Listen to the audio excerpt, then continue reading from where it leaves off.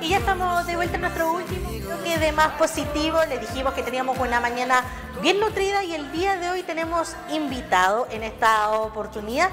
Es del ámbito artístico que nos viene a presentar su nuevo single. Hablo de Mera y su single que se titula Al Natural. Entonces ahora vamos a pasar a hablar, a conocer un poco de la obra. Estamos con Eduardo Mera, a esta hora conectados por videollamada. Así que, hola, ¿cómo estás? Primero que todo, bienvenido. Muchas gracias por estar con nosotros el día de hoy. Hola, encantado de estar contigo hablando, feliz de la oportunidad y el contacto, así que muchas gracias. No, no, gracias a ti. Primero que todo, bueno, conversemos hablando sobre tu último single, que en este caso es Al Natural. Hablemos sobre eso y un poco de la trayectoria. Vamos a estar, sí, presentándolo al final, pero hablemos sobre esta propuesta nueva que tú estás presentando el día de hoy. Fantástico, bueno, Al Natural viene a ser mi último sencillo, que es el sencillo punta de lanza de mi, de mi disco, de mi último disco que, que acabo de lanzar hace ratito, hace poquito rato se llama Pasaje de Ida que es un disco de 11 canciones y esta canción viene a ser como el sencillo promocional. Pero mira, esta canción viene a ser en el fondo el último single, porque he ido trabajando, lanzando sencillo tras sencillo, a cuenta gota, al final esto fue armándose una historia y que termina, que parte de una canción que se llama Hoy de Viaje Solito, que la lancé hace varios años ya, y que termina con esta canción Al Natural. Entonces, esta canción habla un poco de, quitarse la máscara y querer tal como uno es. Em, el video fue grabado en Lebu, que es una ciudad que está en la región del Biobío, sí. Eh, una ciudad muy bonita, que los invito a que la puedan conocer y em, un poco muestra estos paisajes y, la idea es em, justamente eso, demostrarse al natural, demostrarse tal cual uno es y un poquito sonreírle a la vida. Eso efectivamente yo estaba leyendo un poco y claro, de eso se trata, en el fondo de, ser transparente, de mostrarnos real, como dices tú, pero ¿qué fue lo que, lo que te motivó? ¿Cuál fue tu inspiración para llegar a componer este single? Bueno, un poco parte por este concepto del disco que tiene que ver con, con tratar de ser más genuino. como te decía, esta historia nace, empezar a lanzar sencillo tras sencillo, distintas canciones, sin mucha, o sea, con cierta idea, pero sin mucha idea de para dónde iba a ir. Finalmente me fui dando cuenta que había un tema en común, que era primero el irse de viaje, segundo el de descubrirse, y tercero de, de querer tal como uno es. Espérame un segundo. Sí, Entonces, ahí, ahí, ahí, sí, de, querer tal como uno es. Entonces, e, en ese viaje em, nace la canción al natural. Eh, en, esa vorágine de, descubrir cosas, de descubrir experiencias, nace esta canción que finalmente tiene que ver con que tú, aunque conozcas mil lugares, aunque conozcas mil personas, eh, lo más importante es quitarte las máscaras y ser tal como uno eres. Entonces de ahí nace esa inspiración y es una canción que me gusta mucho, que tiene un ritmo bien arriba, que es bien positiva y que un poco llama a este, a este mensaje, un poco en estos tiempos donde tendemos a escondernos detrás de las máscaras o de los maquillajes o de distintas cosas, eh, es un bonito llamado mostrarse a ser tal como uno es. Oye, mira, justo yo iba a tocar ese punto. ¿Tú consideras que dentro de la sociedad actual hace falta que seamos un poco más transparentes en el sentido de que generalmente estamos como eh, ocultándonos un poco, tratando de actuar políticamente correcto? En el tema del amor tratamos de ser un poco más precavidos. ¿Tú sientes que, falta un poco de eso y esta canción busca que nos motivemos un poco también a, soltar lo que sentimos y, en el fondo a fluir el cómo somos? Claro que sí, o sea, yo creo que evidentemente hay espacios de, respeto que, deben existir siempre, pero uno tiene que ser como uno es. Muchas veces efectivamente uno tiende a, guardar opiniones, a guardar cosas para, para ser lo más neutro posible. Y, finalmente está bien, quizás en algunos contextos, pero eh, eso no puede dominar tu vida, no puede dominar tu existencia, sobre todo cuando se trata de amor, cuando se trata de relaciones humanas, uno tiene que ser como es evidentemente dentro de ciertos márgenes, pero uno tiene que mostrarse, tiene que sacarse la máscara, o sea, no, no, no puede esconderte, y, al fin y al cabo, eh, uno siempre se descubre, uno siempre sale, salen los verdaderos colores. Entonces es mejor ser como uno es desde el principio y, ahí se verá. No, al final muchas veces pasa que uno empieza a mostrar una cara eh, que realmente no es la mejor versión de uno, pues después eso se empieza a, a, claro, y finalmente nadie es feliz. Entonces, un poco esa es la invitación a que seamos más genuinos y, sea, y seamos tal, tal cual como somos. Perfecto. Oye, y bueno, ya hablamos un poco del single también, vamos a retomarlo al final, pero quiero que conversemos sobre tu trayectoria musical. ¿Cómo te insertaste en este mundo, tú, Mera? Bueno, eh, a pura pachorra nomás. Fue, fue un poco de, de, puntudo. Yo, yo, en realidad soy músico de oficio, me fui, me fui haciendo con, con los viajes, con la música, con, con, las tocatas, con los shows. Eh, yo soy de profesión odontólogo, de hecho estoy disfrazado de odontólogo. sí. Entonces, pero siempre tenía la, las ganas de hacer música, siempre tenía la, la, intención de hacerlo. Y mientras pasaban los años y yo no hacía eso, sentía que se me clavaba más profundo la espina entonces dije, algo tengo que hacer. Finalmente eh, se dieron las cosas. Hubo una feria en Santiago, en Santiago de Chile, eh, que se llama la Feria Pulsar, donde fui entendiendo cómo funcionaba esta cuestión de la música. Y de ahí di los primeros pasos para grabar un, primer disco que se llamó Boulevard, que salió allá por el 2016. Y después de eso empecé a lanzar sencillo tras sencillo. Y de alguna manera eso empezó a impactar en algunas personas, empezó a conectar con otras y empezó a sonar la música. Entonces, para mí el sueño era muy sencillo en su momento. O sea, no sé si tan sencillo, pero, pero eran dos cosas. Era hacer un disco y en segundo lugar que mis canciones fueran más lejos de lo que yo haya ido. Eh, felizmente creo que eso lo he podido cumplir y sigo haciendo música. Pese a la pandemia, pese al tiempo, pese a todo, se sigue haciendo. Eh, me tiene muy contento esto del, disco, el pasaje de ida, porque viene a englobar este concepto de, que nace, que nace, como te decía, con, con esta canción que se llamó Me voy de viaje solito, que a mí me entregó muchas alegrías y que hasta el día de hoy suena y, y que me ha permitido seguir, seguir trabajando y seguir insistiendo en este camino que a mí me encanta.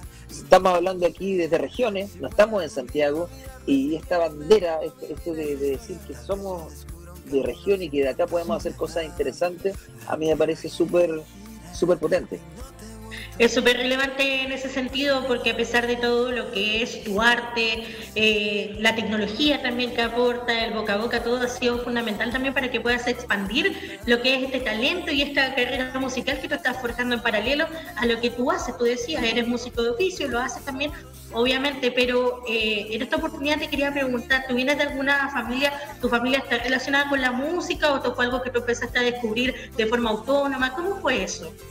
Bueno, en realidad la, música de mi familia siempre ha estado, pero de manera más, más de celebraciones. Mi, viejo, mi papá tocaba la guitarra, de hecho ahí yo, yo lo veía tocando la guitarra, haciendo, cantando. Él aprendió a tocar en la U y después cuando yo era niño lo veía tocar y eso me, me gustaba mucho, yo cantaba con él. Después me regalaron una guitarra mía, una tía, pero fui más por eso, por el gusto, por el sonido, después ya por la cosa autodidacta y viendo también en la televisión. En ese tiempo eh, uno veía la tele, había muchos canales de televisión, eh, también la televisión nacional se pasaba bastante música, entonces uno empezaba a absorber eso, eran los primeros pasos de internet, entonces no tampoco había mucho acceso. Entonces uno se nutría de eso, mucho de, la televisión, de, los canales musicales. Eh, y de ahí me fui nutriendo, de, ahí fue aprendiendo y después, bueno, escuchando, escuchando música, escuchando canciones, escuchando vinilos también, escuchando distintas cosas que me, hacían eh, sentido y me, me, generaban la necesidad de, de tratar de yo generar canciones, de yo generar alguna propuesta artística. En este caso, por ejemplo, dentro de tu trayectoria, de todo lo que has podido componer y presentar a la industria musical, ¿cuál fue o ha sido el tema que más te, te marcó en tu trayectoria? Porque sabemos que todos los artistas tienen una gama, pero siempre hay una canción, algún single que, que uno lo tiene como, como en el corazón por X motivo. ¿Tú tienes preferencia o, cierta canción te ha marcado un poco? Sí, claro. Bueno, siempre dicen, esto es como los hijos, que uno los quiere a todos por igual, pero... Pero no es así, no. Pero sí, hay, hay, una canción que, la mencioné ahora en la entrevista, que es la Me voy de viaje solito, porque es una canción que de alguna manera aparece todos los años, como el como a Tommy Rey un año más. He visto, por ejemplo, eh, como que todos los años aparece con el tema estacional de los viajes, cada cierto rato me, me genera cosas muy entretenidas. Por ejemplo, ahora que está muy en boca TikTok, es una canción que estuvo dentro de los rankings mundiales de TikTok, de gente que se iba de viaje y ponía la canción, yo sin tener TikTok. Entonces me empezaron a contar, oye, está pasando esto con esta canción. Y años atrás también pasaba que estuvo, hoy se volvió a virar en la radio, oh, empezó a sonar no sé dónde, oh, está afuera sonando. Entonces, como que cada cierto rato, independiente de la, de la trayectoria que sigo generando, esa canción es como un, propulsor. Yo la llamo como mi estrellita, porque siempre está. Es una canción que, que siempre, que no pasa de moda, que sigue vigente y que a medida que gente la va conociendo, eh, se va encantando con ella. Así que para mí es una canción muy importante. Y que Oye, sí, siempre ¿Disculpa? Que termina siempre, siempre siendo bisagra y soporte de, mi carrera. Ahí sí, pues, otra cosa que hay que destacar que tiene más de 3 millones de reproducciones, o sea, ha sido un boom. Y en esta oportunidad en Spotify, eh, ¿cuál es tu proyecto a futuro? Sabemos que está, saliendo del horno, obviamente, pero en el ámbito musical, ¿cuál es tu proyecto de aquí en adelante? ¿Qué te gustaría seguir realizando? Bueno, siempre la música está, entonces eh, yo de hecho la semana pasada hice el lanzamiento en vivo de este disco en Santiago. Fue muy emocionante para mí porque había tocado en vivo, pero muy poco. Entonces, con público, con gente que me fue a ver, estaba súper nervioso. Afortunadamente salió un bonito espectáculo. Entonces la idea es seguir haciendo música en vivo, seguir haciendo algunos shows, tenemos algunos programados dentro de este segundo semestre y respecto a música, efectivamente se viene música nueva, eh, se vienen varias canciones, así que muy entusiasmado porque hay música para rato y hay proyectos para rato. Eso es lo importante. ¿Y cómo ha sido para ti complementar lo que es tu, tu trabajo eh, diario más la música. ¿Cómo ha sido eso para ti, para complementarlo y en el fondo poder hacer tu vida y dedicarte a ambas cosas? Eh, no sé si lo logro hacer en realidad, pero, ahí insisto, o sea, trato de hacerlo y me funciona a veces bien, a veces no tan bien, a veces, o sea, tengo que ser lo más ordenado posible, por obligación, porque si no anoto algo, me genera la escoba. Por ejemplo, esta entrevista la tenía agendada, pero si venía alguien, un paciente, me quedaba la escoba. Entonces, hay que tratar de ser lo más ordenado posible. Oye, ¿y qué le dirías a aquellas personas que también están en la misma situación eh, que tú, que se dedican a un proyecto, pero que en el fondo le llama la atención, no sé, en tu caso la música, puede ser la danza, otro tipo de arte? ¿Cuál sería también el consejo para aquellas personas que quizás les gustaría como lanzarse en este mundo artístico?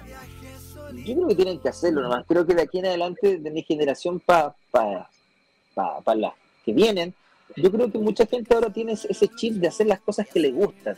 Eh, de repente nuestros viejos tenían más ese concepto de partir con algo y terminar en eso. Ahora yo creo que el mundo está mucho más abierto, uno puede reinventarse todas las veces que sea necesario y mientras más cosas haga uno, creo que es mejor.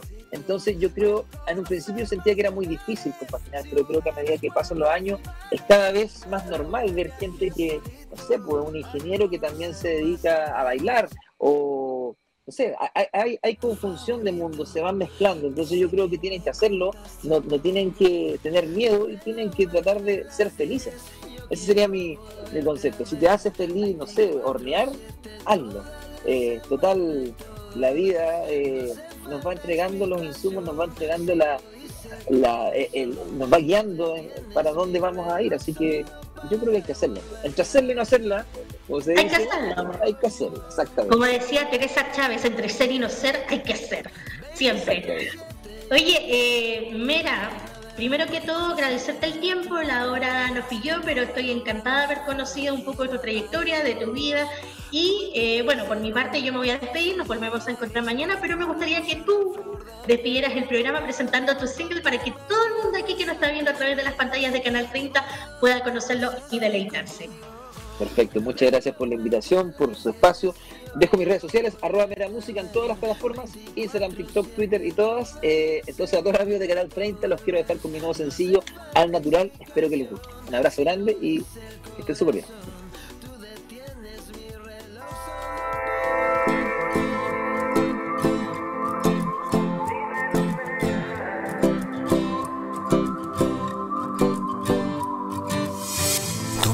me encandila como si fuera un sol.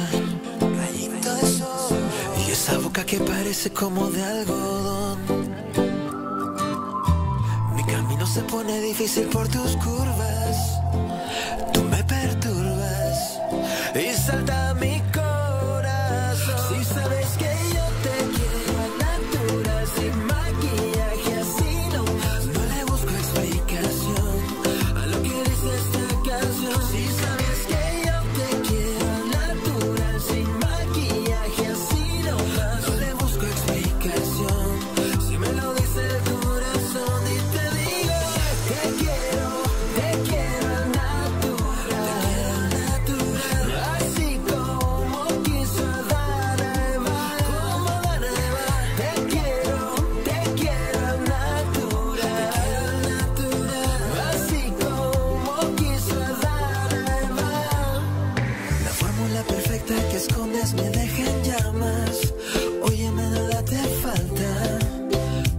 Porque